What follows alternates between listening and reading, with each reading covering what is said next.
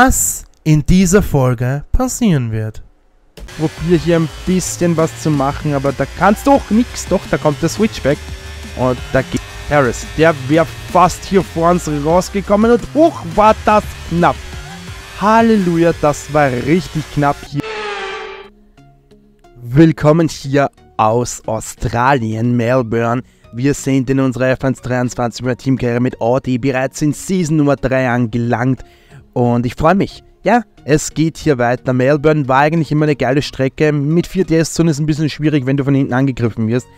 Aber mal gucken, der Saisonauftakt in, äh, in Saudi-Arabien lief ehrlich gesagt nicht so erfolgreich, weswegen wir hier nochmal alles oder ich alles geben werde. 5,2 Kilometer, 4 DS-Zonen und ja, eine sehr, sehr geniale Strecke, 14 Kurven, das ist wirklich sehr, sehr schnell. Let's go! Und so läuft es an, da muss ich mich noch ein bisschen dran gewöhnen. Dennoch finde ich es ziemlich gut. Und bei den letzten Run konnten wir uns einen Ticken verbessern, aber jetzt geht's in den komplett letzten Run. Let's go! Turn 1 haben wir eigentlich ordentlich ja, geschafft. Da geht sogar einiges an der Zeit runter. IAS ist zwar nicht mehr viel da, aber ja, ich weiß nicht. Ich werde mit dem Auto irgendwie nicht warm. Auf eine Runde ist es so schwierig mit diesem Auto äh, gute Zeiten zu fahren. Ich muss da wirklich immer gleich zwei, drei Runden drauf liegen, dass wir nur irgendwie ähm, ja, eine ordentliche Zeit hinbekommen. Ja, boah, der war gut. Sehr, sehr viel mit, mit rausgenommen an, an, an Schwung. Und ja, da geht's mit zwei Zehntel. Einer Zehntel, ah, warum verlieren wir jetzt wieder so viel Zeit? Das macht gar keinen Sinn. Jetzt hier durch Full Speed wirklich da alles mit rausgenommen. Also ich habe da wirklich auf jeden Zentimeter aus, äh, ausgenutzt und da sind wir beinahe vier Zehntel. Sag auch hier diese Spitzkurve ordentlich erwischt. Und jetzt geht's dann in diesen letzten ähm, ja, paar Kurven, die es auch in sich haben. Gerade diese Kurve hier, da habe ich mir schon mal eine Runde zusammengehauen. Auch hier jetzt wieder sehr, sehr rutschig. Iris ist bereits aus. Letzte Kurve, naja, erwischt, da habe ich ein paar Tausendstel liegen lassen. Wo bleibt die Uhr stehen? Gucken wir uns mal an. Startaufstellung. Das aufregende Rennen von heute durch. Lewis Hamilton startet heute von der Pole. Und der talentierte Spanier Carlos Sainz macht die erste Reihe komplett. Und hier die restliche Startaufstellung heute. Russell, Verstappen, Leclerc, Norris, Perez, der Wissenschaftler, Gasly, Oscar Piastri, Tsunoda, Stroll, Joe, Hülkenberg, Bottas, Ocon, Albon, Duhan, Magnussen, Sargent, De Vries und Liam Lawson. Und jetzt, wo die Vorbereitungen fast abgeschlossen sind, wird es Zeit, zur Strecke zu schalten. Liam Lawson ist also jetzt bei Alpha Tauri. Das ist doch eine sehr interessante Kombi. Let's go, Rennen 2. Nando Norris startet direkt vor uns, aber das gestanden beim Start. Gutes Qualifying auch von, ja, ihm noch ein besseres wie von mir. Aber ich muss euch sagen, ich werde mit diesem Auto nicht richtig warm. Ich muss mich da echt noch dran arbeiten, auch wenn wir das schon ein paar Seasons abgegradet haben. Ähm, ja, werde ich gerade ab dieser Season, da müssen wir noch ein bisschen was reinstecken.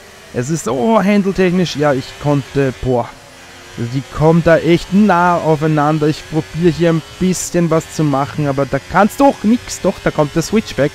Und da geht's dann, ja, die Verwarnung ist klar mit Rad an Rad, aber ja, das ist halt mal auf so einer engen Strecke, da kannst du jetzt auch nichts anderes machen. Sainz und Verstappen vor uns und da schießt der Schal wieder vorbei und das im wahrsten Sinne des Wortes. Ich bekomme die Kollision, weil sich er hier durchquetscht. Das ist interessant, Leute. Und jetzt hier, ja, wir sind in Runde Nummer 2 und ich kann, ähm, es fühlt sich wieder an wie zur Anfangszeit. Wir hecheln der Konkurrenz hinterher. Auch wenn du eine Strecke wirklich bombastisch gut kannst, ist es so unfassbar schwierig mit so einem unterlegenen Auto, ähm, ja, generell was zu reißen. Wir müssen jetzt auch ein bisschen aufpassen, upgrade-technisch geht aktuell nicht viel, weil wir zuerst Geld brauchen, um die ganzen Sachen zu kaufen, dass wir dann upgraden können. Also wir hängen jetzt ein bisschen ein paar Rennen äh, in dieser Zwickmühle fest von ähm, ja, Geld beschaffen, kaufen, dass man sich wieder Upgrades kaufen kann. Also ja, das wird auf jeden Fall noch eine lange Season werden, wenn es so weitergeht. Aber kann natürlich auch sein, dass die Strecke einfach unser Auto nicht richtig liegt. Auch Lando Norris kommt jetzt nicht an Russell vorbei und vor uns ist ein kleiner Fight zwischen Verstappen und ich glaube, das ist ein Mercedes wieder. Das ist das wieder Russell, oder? Jetzt gucken wir uns einmal die Start-Replay an und die war eigentlich okay. Der Start war an sich sehr gut. Ich weiß nicht, was Lando da gemacht hat. Also der ist gestanden. Das war nicht schön. Aber das, ja, muss man jetzt mal so akzeptieren. Ich finde es auch cool, dass wir hier an äh, Leclerc vorbeigekommen sind, auch wenn sich da wirklich drei gestritten haben. Also nicht nur zwei. Da wollte ich ein bisschen mehr Profit draus schlagen, als es dann, ja, ja, da, da kommt äh, Russell ins Rutschen und der reißt dann quasi mich auch mit, weil ich ja auch kaum hier Platz habe. Ja, da kommen wir zwar mal kurzfristig vorbei, Rad an Rad mit Leclerc, oh, das ganze Gras, alles mitgenommen, nur um da irgendwie Platz noch zu finden. Und dann schießt hier wieder, ja, da schießt wieder Leclerc vorbei mit Rad an Rad. Und da geht es richtig eng zur Sache. Das ist dann ebenfalls Runde Nummer 1. Da können wir eigentlich Leclerc gut folgen. Ich habe auch gehofft, dass wir hier vielleicht eventuell ein bisschen reingehen können, aber das hat nichts geholfen. Also da war ich wirklich zu aggressiv äh, teilweise. Runde 2 hier, ähm, wir können Leclerc noch folgen. Das ist das Gute an dem Ganzen. Das Ding ist halt wirklich, wir müssen ähm, ja, ein bisschen darauf hoffen, dass da vor uns irgendwas passiert, vielleicht auch mit Strategie und so mal schauen. Also da, das wird heute wirklich kein einfaches Rennen werden. Im Windschatten sorgen wir uns ja immerhin an Leclerc dran und es gibt sogar die schnellste Rennrunde. Zumindest jetzt mal vorerst für uns. Das ist schon mal gut. Und jetzt wird es auch DRS geben, was das Ganze etwas einfacher machen sollte, hoffentlich. Also mal schauen. Vielleicht wird es dann doch was. Ich freue mich auch, dass wir endlich wieder hier zurück sind, nachdem ich ja zwei Tage nichts gebracht habe. Aber es hat einen guten Grund, das Ladekabel von meinem Computer ging einfach nicht mehr und ja, habe dann auch ein bisschen diese heißen Tage genossen. Hier, wo wir wohnen, 35 Grad, also das ist dann wirklich Halleluja. Äh, wo willst du narrisch? Da kommen wir mit einem richtigen Powerslide aus der Kurve raus und kaum Zeit zum Durchatmen, denn hier klebt uns schon George Russell und auch Lando Norris hinten drauf. Also das ist wirklich eine richtig beschissene Situation. Okay, äh, Lando klebt jetzt nicht so drauf wie äh, Charles, aber das ist auch ein Wahnsinnsprojekt hier. Also die da hinten zu halten und ähm, ja, den da trotzdem zu folgen, um in Fenster zu bleiben. Es ist wirklich heute nicht einfach. Es ist das Rennen voller Herausforderungen, was mich echt ein bisschen komisch. Äh, ich meine, unser Auto war letzte Season so strong und jetzt auf einmal ist es, als ob wir nichts upgraded hätten. Also ob wir einfach hier auf der gleichen Stelle herumhocken und einfach nichts äh, weitergeht. Ja, wir hängen ein bisschen hinten nach. Ähm, und jetzt sieht man halt auch diesen riesen Abstand. Äh, die Spitze, die rast halt davon und ich bin so ein bisschen der Kid, der das alles zusammenhält. Landon Norris jetzt auch in uns. Halleluja, kommt er knapp dran. Wird auch jetzt ein Problem werden, äh, weil du halt einfach, es ist Australien. Es ist eine coole Strecke, aber wie gesagt, auch vorhin am Anfang in der Intro, ja, da kommen wir ein bisschen weiter in die Strecke. Wenn du wirklich hier der Verfolgte bist, also nicht der Verfolger, sondern der von, der von den anderen verfolgt wird, ist es wirklich eine richtig schwierige Sache. Ja, und die Reifen sind halt natürlich auch schon ein bisschen läppisch. Da musst halt wirklich aufpassen. Jetzt hier wieder Runde Nummer 7 und wir werden weiterhin von der Konkurrenz hier aufgefressen. Die klappen ihren Heckflügel auf und guckt euch das mal an wie George Russell hier vorbei schießt. Also da kannst du doch kaum was machen. Da gehen wir aber jetzt mal außen vorbei und verschätze ich mich ordentlich hier. Das ist natürlich dumm gelaufen. Äh, gelb, gelb. Da schaltet jemand aus. Grün. Hä? Irgendjemand geht hier ganz weit. Ja, Russell und Perez, das ist jetzt wirklich eine Kombi, die hat es wirklich in sich. Die beiden, das wird fast ein Mammo-Projekt werden. Nico Hülkenberg ist aus dem Rennen draußen und ja, ein, zwei Runden heißt noch durchhalten. Äh, ein, zwei Runden noch mit diesen abgelutschten Reifen. Die Strecke ist wirklich Reifen ähm, ja, abnutzender, als ich mir das jemals gedacht hätte. Gucken wir uns noch einmal die Replays hier an. Das ist gegen Landon Norris hier in Runde Nummer, ja, was ist es? Was ist es? Halleluja, war das eng hier. Und dann hier außen gegen, ja, da sieht man es auch, gegen den äh, guten alten äh, George Russell. Jetzt ab in die Box rein. Und jetzt müssen wir halt richtig Acht drauf geben. Nicht verbremsen, nein, das hat gereicht. Auch wenn es mich ein bisschen irritiert, dass oben immer das eingefroren ist. Also da steht immer 84 und fertig. Also das ist wirklich echt beschissen. Hier geht's rein, verkackt's nicht, Jungs. Gut, 2,4, das ist wirklich ordentlich. und wir gehen aus der Box raus. Wir kommen auf den zwölften Platz raus. So, bleibt das der zwölfte? Ja, es wird der zwölfte bleiben. Und Liam Lawson ist hinter uns. Im Alpha Tauri war noch nicht in der Box, das er sollte jetzt auch nicht allzu schnell uns überholen können. Auch wenn es das Steers äh, enabelt ist, ist egal. Jetzt Harris, der wäre fast hier vor uns rausgekommen und hoch war das knapp. Halleluja, das war richtig knapp hier gegen Paris mit dem weißen Reifen. Was ist das für eine Schienenstrategie? Bleibt bis zur 10. Runde draußen mit dem roten Satz, dass er dann auf weiß geht. Perez, du hast es wirklich schon immer drauf gehabt. Also bei Red Bull versagt die Strategie wirklich jedes einzelne Mal. Jetzt wird es halt interessant werden, weil, ah nein, äh, Russell war schon in der Box, der ist hinter Piastri zurückgefallen. Da dürfte es ein paar Probleme gegeben haben in der Box und wir verfolgen hier wirklich, also wir hängen hier wieder auf dem fünften Platz herum, verfolgen jetzt ähm, Leclerc und Sainz, wobei die uns eigentlich ja um die One fahren und wir eigentlich nur hinterher fahren. Auch hinter äh, Paris ist nochmal eine Lücke von zwei Sekunden zu Russell. Also wir haben das mit den Boxen dabei gut getimt, denn damit konnten wir uns ein bisschen verschaffen gegenüber der Konkurrenz. Also das ist wirklich puh, heute ein richtig spannendes, aber auch mega schwieriges Rennen, denn das heute irgendwie ähm, ich habe mir erhofft, dass wir da vielleicht irgendwie Podium näher kommen, aber das ist absolut nicht der Fall. Die Konkurrenz zieht uns hier wirklich davon und das in der richtigen Gruppe. Also ein Mercedes, ein Red Bull, zwei Ferrari, die cruisen da vorne mit 8 Sekunden Vorsprung und wir häkeln da irgendwie hinterher.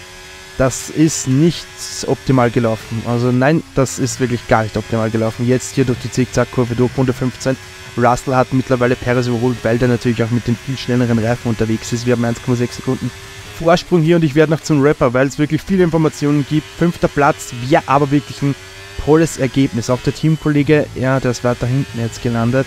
Äh, die Alpine ist mir aufgefallen, die sind jetzt auch viel besser hier unterwegs bei uns. Und wir bringen hier irgendwie. Ne? Es sind immer um die 8 Sekunden zu den Vorderleuten, aber die Hinterleute, der Russell, der holt richtig auf. Ja, es sind nur noch 1,5 Sekunden. Russell, der macht hier richtig Druck. Also der ist nicht langsam unterwegs, der ist richtig, richtig schnell. Und der wird uns das Ganze hier gar nicht so einfach machen.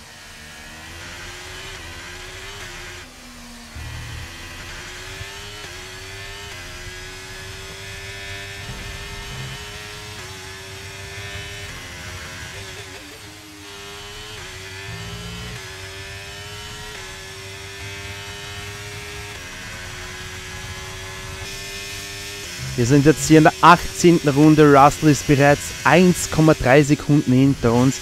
Das, puh, es ist wirklich unfassbar knapp. Also jeder Rutscher hier könnte bereits bedeuten, dass er an uns vorbei cruist. Und ja, ich, ich, ja, die Reifen sind natürlich, wir haben die ältesten. Wir sind viel früher reingegangen. Ich glaube, eine Runde, oder, also viel früher, aber wir sind früher reingegangen. Und ja, das Ganze jetzt hier durchzuziehen wird noch wieder ein Mammutprojekt werden. Auch wenn hier Perez natürlich noch drei Sekunden weg ist, aber wir wissen, wie schnell die Zeit vergeht. Wenn du da einmal irgendwie einen Haken einbauen musst oder einen Switch-Overtake machen musst, dann ist die Zeit, die geht da so schnell vorbei, dass du einfach, ja, dass du hier einfach trotzdem richtig Probleme kriegen kannst. Jetzt hier aus der letzten Kurve raus, das war gar nicht gut. Mal gucken, der Flügel eh nicht kaputt und was für ein geiler Umschnitt hier. Jetzt sehen wir dieses knappe äh, diese knappe Ausfahrt gegen Checo Perez. Aber man muss sagen, boah, da gab es wirklich ganz knapp die Berührung nicht mit Perez. Und Runde 18, das war jetzt dieser richtig weite Mauerrutscher, den wir hier hatten. Und das war echt sehr knapp. Also wir sind jetzt mittlerweile in der letzten Runde. 18 ist Russell hinter uns. Wir haben noch zwei DS-Zonen vor uns. Und das heißt, wir haben wirklich noch eine richtig schwierige Aufgabe zu bewältigen. Denn die Jungs, den Jungen hinten zu halten, also Perez hat es nicht geschafft, hier dran zu kommen, aber Russell hinten zu halten, wird halt wirklich eine schwierige Sache. Im schlimmsten Fall müssen wir halt, halt ziehen lassen. Aber es schaut bis jetzt gut aus. Hier gut rausgekommen, viel Schwung mitgenommen. Und jetzt geht es noch einmal hier los. Ja, Russell probiert es nicht. Das wundert mich aber, dass er dann nicht irgendwie neben uns fährt oder so. Der verlässt sich vielleicht noch auf na, die letzte Chance bis zur Ziellinie. Das könnte wirklich noch, das könnten die schlimmsten 100, 200, 300 Meter werden überhaupt. Let's go, letzte Kurve raus. Russell kommt angeschossen, 17 läuft okay. Das ist gelaufen. Wir beenden das Rennen hier auf den 10. Platz, nehmen, ah, auf den 5. Platz, nehmen 10 Punkte mit. Also ja, es ist ein solides Ergebnis. Ich glaube, mehr wäre heute nicht drin gewesen.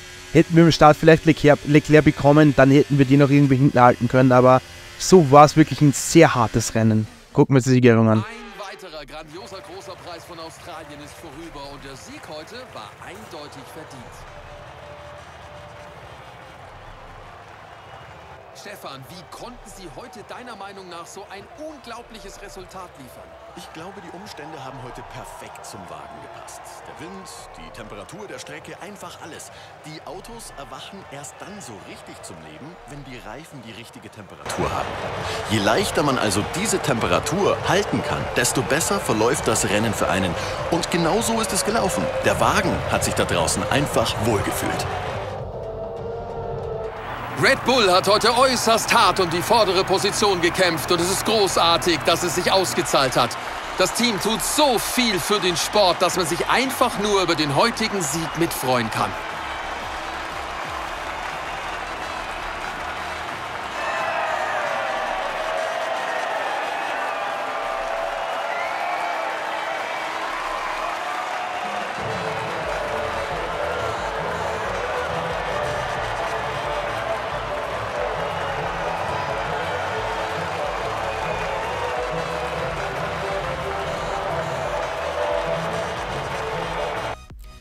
Und da haben wir nun das Final Klassement und der Team hat es leider nicht in die Top 15 geschafft. Eben auch wegen einer dummen Strategie, aber vielleicht auch wegen unseres sehr harten Fights. Also da kann es wirklich auch passiert sein, dass, dass sich da irgendein Schaden ergeben hat. Also es war ja wirklich Rad an Rad und da, da, ich will da jetzt wirklich nichts verschreien. Also wenn da wir schuld waren, tut mir natürlich das sehr leid. Fünfter Platz in der Weltmeisterschaft. Das ist gut, wir nehmen elf Punkte mit, weil die schnellste Rennrunde keiner schlagen konnte. Das wundert mich, aber wir waren so langsam. Aber genau in dieser einen Runde haben wir natürlich diesen DRS-Vorteil bekommen gegenüber der Konkurrenz. Und da halten wir noch ein bisschen die Rivalität offen, aber ja, der ist fast doppelt so weit weg. Also, das ist wirklich ja, nur noch Formsache. Lando Norris hat ein bisschen am Boden verloren, aber er ist trotzdem Level 17, also auch das Ergebnis. Sehr gut im Qualifying war der unterwegs. Und morgen geht's dann, morgen oder übermorgen geht's dann nach China. Da freue ich mich wirklich besonders. Das Comeback auch wieder von Shanghai. Also das war wirklich schon lange nicht mehr im Kalender. Und jetzt hier in Season 3 werden wir nun endlich das Comeback feiern. Das wird hoffentlich spaßig werden. Also 17 Millionen haben wir. Jetzt müssen wir auch bald mal was ausgeben, um ja so ein bisschen ähm, ja, das Auto weiter upgraden zu dürfen. Also wie auch vorhin angesprochen. Es ist natürlich klar, wenn du nichts Geld in, wenn du kein Geld investierst, hast du jetzt auch kaum Chance, ähm, noch das Auto weiter zu upgraden, aber diese ja, ganzen einzelnen Upgrades, also diese einzelnen Geldstationen, ähm, also da gibt es ja Strapazierfähigkeit, Qualitätskontrolle und so weiter, und die dann noch extra zu kaufen, also da kostet er jetzt schon 5 Millionen mittlerweile. Das ist wirklich eine heikle Sache.